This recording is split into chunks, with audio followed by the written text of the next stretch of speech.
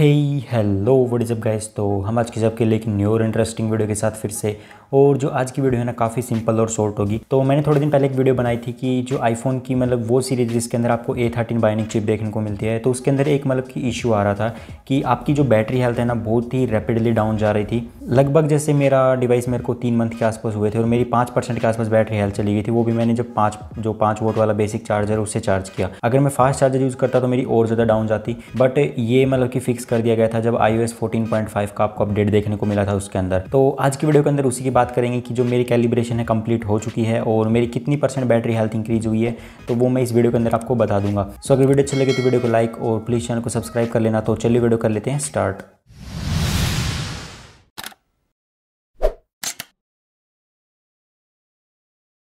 First of all तो आपको side में एक स्क्रीन रिकॉर्डिंग देखने को मिल जाएगी, जो कि मैंने रिकॉर्ड की थी जब मेरा डिवाइस अपडेटेड नहीं था मतलब कि जो आई 14.5 का अपडेट था, उसके करने से पहले मैंने स्क्रीन रिकॉर्ड की थी। तो यहाँ पर आप देख सकते हो जो मेरी बैटरी हेल्थ है वो 96 परसेंट के आसपास है, और जब मैंने वो अपडेट वगैरह कंप्लीट कर लिया दो तीन दिन में तो मेरी 95 भी चली गई थी। बट उस टाइम पर मैंने रिकॉर्ड नहीं किया तो आप देख सकते हो 96 परसेंट मेरी बैटरी हेल्थ थी उस टाइम पर और अब अगर करंट की बात करें तो मेरी कैलिब्रेशन कंप्लीट हो चुकी है, और अगर आपको पता करना है कि कैलिब्रेशन वगैरह कैसे होगी तो आपको कार्ड में वीडियो मिल जाएगी।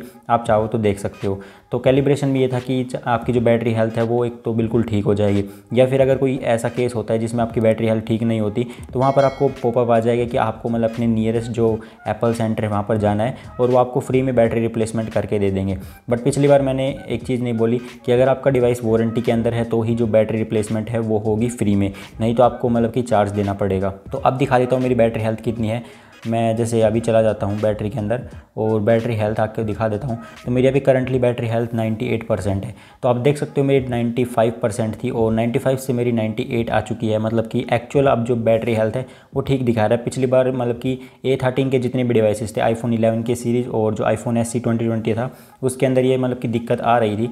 तो मेरे पास एस भी था तो उसके अंदर भी यही दिक्कत थी। उसमें भी अभी मतलब कि चल रहा है कैलिब्रेटिंग मैंने थोड़े दिन बाद अपडेट किया था उसको।